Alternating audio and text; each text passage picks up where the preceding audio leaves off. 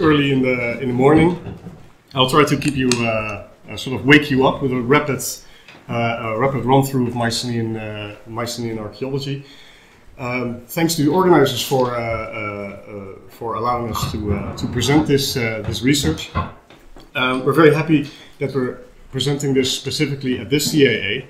Um, uh, John Bintliff uh, gave his keynote lecture two days ago, in which he explained much about what he did in Boeotia, but in fact he worked also in uh, many other areas in Greece.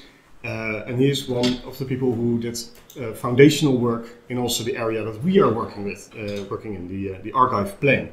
So we're very excited, John, for your comments, and slightly scared, of course, as well. Um, so, for those of you who are uh, unfamiliar with the area and the uh, and the period, we're talking about the late Bronze Age in in Greece. And this is a picture I stole from Wikipedia to give you a general idea of the culture area that we're discussing here. Two important sites are Mycenae and Tiryns, located in this area of the Peloponnese, uh, which is often considered as the core area of uh, the Mycenaeans. So, why is this interesting, and why would anyone research uh, this stuff? Well, it's quite easy. It is bloody spectacular.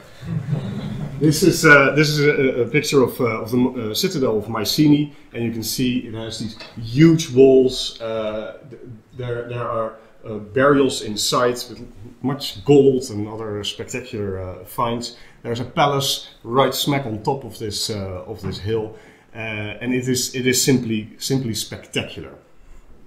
Also, the burials from this period, some of them are uh, so awe-inspiring that you have no idea. And this is this is great not only for archaeology but also for tourism. So if you're in Greece, visit this stuff. It is spectacular. And we don't only have these fantastic remains, we also know exactly who the people were who built these things. These guys. You're laughing, but this is King Agamemnon and Achilles, hero of Mycenae. Um, and why do we know these? Through the epics of Homer. So through literary sources, uh, uh, we know of these people and some of the uh, uh things that they uh, did, so the, the, wars that they went on, etc. Um, we're not the only ones who were inspired by this, who were interested in this, and already in the 19th century, uh, archaeological research was was done in this area by Heinrich Schliemann, that you must all know probably. This is a picture of Heinrich Schliemann and his uh, assistant or co-director Dörpfeld uh, with some of the laborers. And as uh, many historical uh, people and these uh, larger-than-life uh, people, we know quite a lot about them and what they did. But to give you a, a nice neo-Marxist idea about approach about archaeology, we know so little about the workmen, about the small people. And um, this is not only the case for these historical, these more recent historical periods and Schliemann, but we argue that this is also the case for uh, uh, many parts of Mycenaean Greece and of the archaeology. So this is um, uh, a bird's eye view of the Argive plain, that core area of, uh, of, of, the Mycenaeans. And uh, I hope you can see that there's quite a mountainous area. Um, this is the typical Greek uh, landscape, very, very mountainous, and many of these high areas quite barren and dry. And uh, here indicated uh, six important sites or large uh, sites from, uh, uh, from this period in the area. As you can see, they're on the edge of the, of the mountains, and we know quite a lot about these sites. Lots of research has been done into them. But it is the area in between this plain of Argos, the Argive plain, uh, that we know much less about. So, um, this is sort of the, the, the, context of our research, um, and many scholars have uh, claimed that this area is quite particular and that it represents an early form of, of urbanism, to use a, a loaded term. Um, and especially that this area is really dominated by the citadels and the, the citadel uh, uh sites. Um, and um, this might have been the case, but uh, we, we uh, find uh, we're a bit uh, uncomfortable with this idea, and we're wondering, sort of, weren't there only smaller settlements, and, and, and, what's happening in the rural landscape?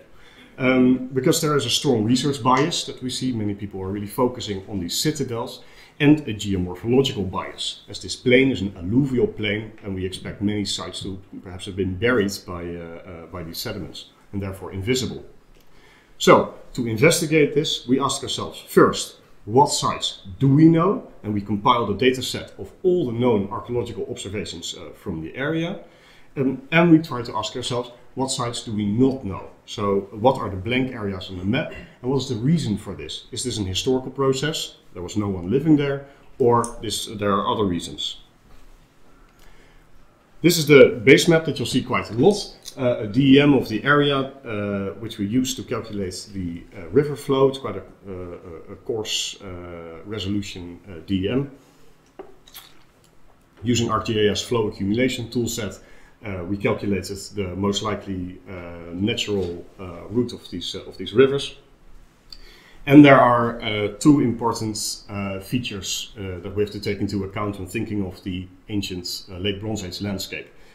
Coastline shift through time, throughout the Bronze Age, means that sites came, some sites came to lie a bit further away from the coast uh, than they did in the in earlier history.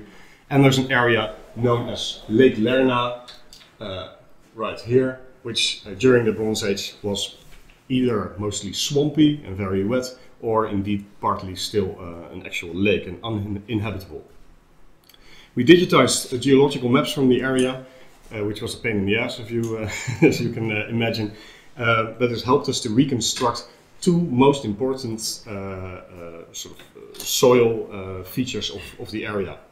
Firstly, indicated by the same DEM raster area here, are the sort of the, the barren pre-Holocene uh, landscapes, so no later uh, sedimentation is known from this area.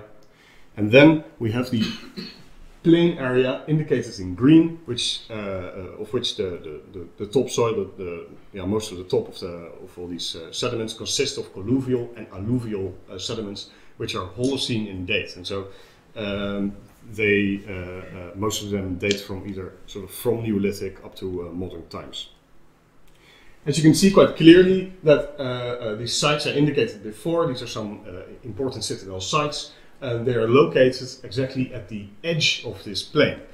Um, Tiryns here seems a bit uh, different, but it is located on a rocky outcrop, which, is, uh, which still sticks out from this uh, plain today. Um, we compiled a new data set of all archaeological observations. And these are the most important uh, sources for this. And as I mentioned, John Bintliff's uh, PhD uh, also summarizes a lot of the data from here. Um, and from these literature sources, we, uh, uh, we, many of them overlap, of course. So uh, the, the, citadel of Mycenae has been described in many, many different sources. Um, but we created this new data set where we talk about observations on one hand so those are the individual observations that people have done. Sometimes this is, there is a citadel here, very large. And in other moments it is three sherds in a field. And then we group them, uh, uh, some, some of these observations uh, appear to have been part of the same original larger settlement. So to avoid confusion, uh, we distinguish these two, these two terms. We have an observation on one hand, uh, and these sites is what we grouped. Um, of course, between these sites there are large uh, differences. So some sites consist of only one observation, uh, like Dalamanara here, which are indeed a couple of sherds that were found uh, during the construction of a well, and Argos, uh, which we consider to be uh, one large settlement, which consists of burials, of a domestic structure, of a, a citadel, etc. So there, um, especially if we, uh, uh, if we look at the differences between these larger centers and uh, smaller domestic sites, the amount of observations for, these, for these larger sites is 17 times higher than, than for smaller domestic sites. Another aspect that uh, we looked into is the um, uh, is their um, occurrence through time. So the settlement pattern changes uh, throughout the, the Bronze Age, this is a graph of uh, uh, sites of which we have a relatively uh, uh, good date. So not all of them, but it gives you an idea. Uh, and importantly, the citadel sites uh, are quite stable, so the, the number of uh, citadel sites is quite stable through time, while the smaller domestic sites, such as villages and farmsteads, constitute the uh, dynamic component of the settlement pattern of the area. Unsurprisingly, this is also related to the uh, duration of habitation of these sites.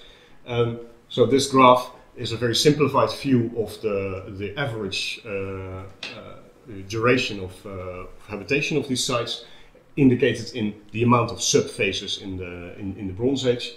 The take-home message is that citadels were inhabited for a very long period and nearly continuous, while domestic sites were inhabited for shorter periods usually. So, um, the uh, data sets that we uh, acquired are quite uh, different from each other. And there are four, we, we discern four different manners in which uh, uh, uh, observations have been done. To start here, modern construction and rescue archaeology has yielded a lot of new data, mostly in urban areas of Argos and Nafplion. Some sites are visible above ground, so uh, some of these citadels have huge walls that you simply cannot miss, and we consider that this is uh, the, the, the, primary reason that they were originally discovered. And then there are also uh, many observations that may not actually stick out on the ground, but they are or either within these, uh, these citadels or they are in such direct proximity of them that we consider that they have been, uh, uh, have been recognized because of this.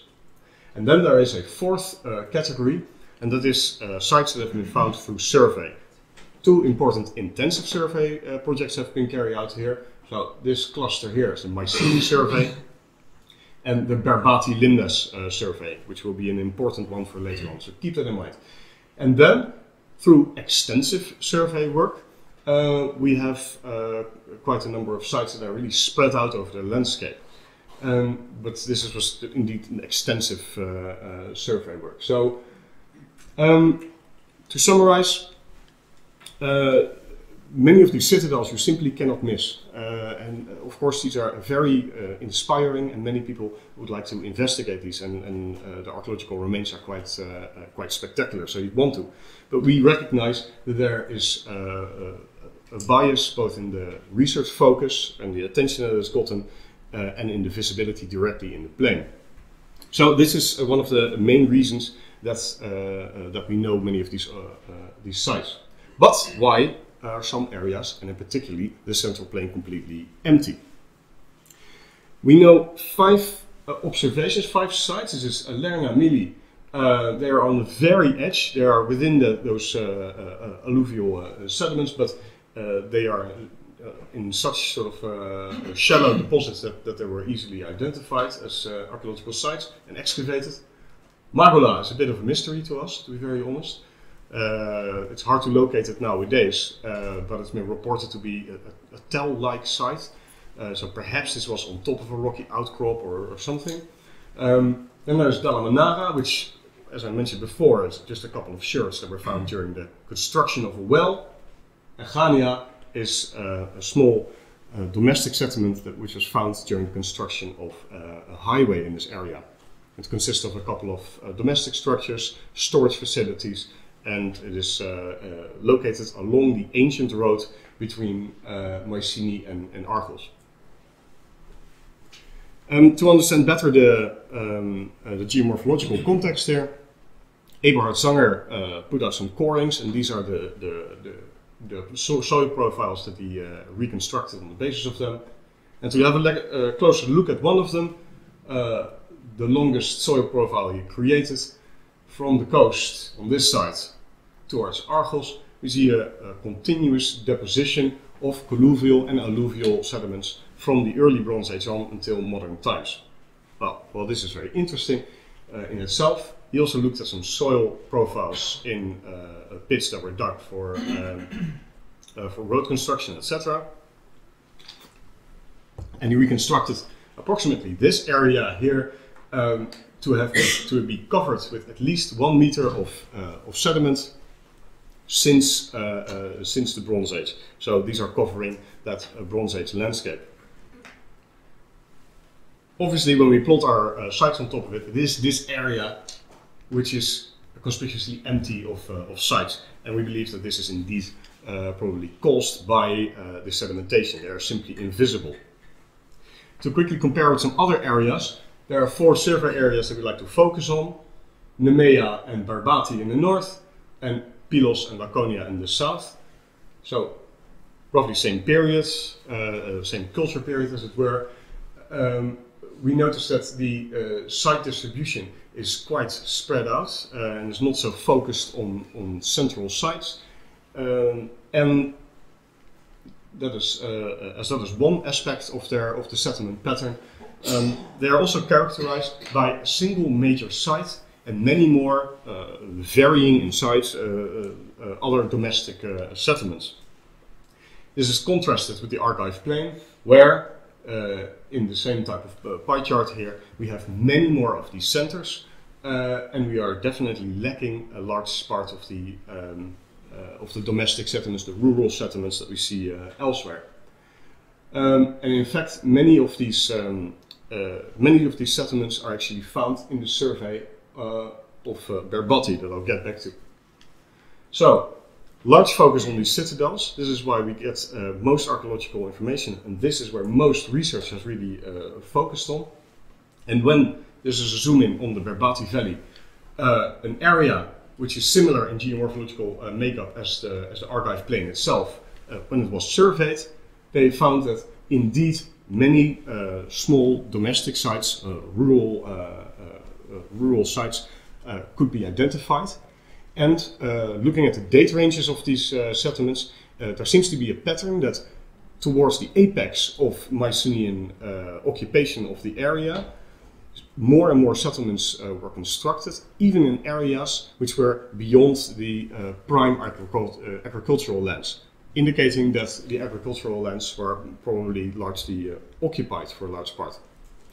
So our suggestion is uh, to rather than focus on these on these sites and consider this completely different landscape from other similar Mycenaean uh, sites, um, that uh, uh there are many sites that were missing, those, especially those small rural uh, settlements, and that rather than assuming that they were not there, that uh, these um, these are in, in, fact invisible to to us archaeologically and that as population increased uh, throughout the Bronze Age, we're not talking about an urbanization of this landscape, but in fact, during, uh, uh, due to an intensified agricultural program, we're talking about an effective ruralization of the Argive plain.